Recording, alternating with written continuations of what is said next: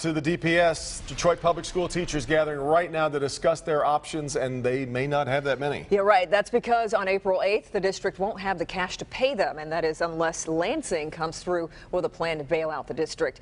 Let's get right to Jason Colthorp. And Jason, what are the teachers you talked to saying about this deadline? They will not work for free, Kim. That much is clear, and a lot uh, of them agree on that. But you're looking at behind me uh, that evidence that there is still a lot of dissension in the ranks. That's former Detroit Federation of Teachers President Steve Conn and members of By Any Means Necessary protesting. One of the things is Ivy Bailey and her presidency right now. These folks uh, put out word today there could be a strike vote here tonight, but we're told that's not going to happen. They just want some unity.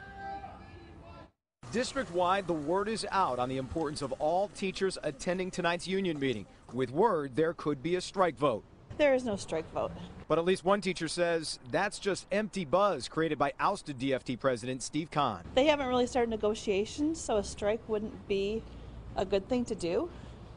You think it's counterproductive at this point? At this point, while there's bad bills in the legislature that they are trying to punish teachers, would probably not be a good idea. And I'm just frustrated. Uh, amongst the thousand of other De- Detroit Federation of Teachers, we're frustrated. Most teachers just want some sort of unity and a plan of action.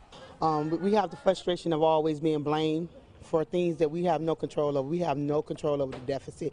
We're frustrated with the legislation that the Republicans in the House and in Lansing are trying to impose on the teachers. is is an atrocity. And with a financial deadline looming, something needs to happen soon. It's going to be hard to hold school if you don't have teachers, so they need to do something. That deadline coming up very soon, April 8th. Um, tonight's meeting has started. It was scheduled to begin at 4:30. No timetable on when it will end, but most teachers are expecting it to go a couple of hours. Coming up tonight at 11, we'll tell you exactly what was talked about, what, if anything, was decided upon, and what Lansing might be talking about as a possible safety net to save Detroit schools. Live in Detroit, Jason Colthorp, Local 4. All right, that deadline less than a month away. Jason, thank you.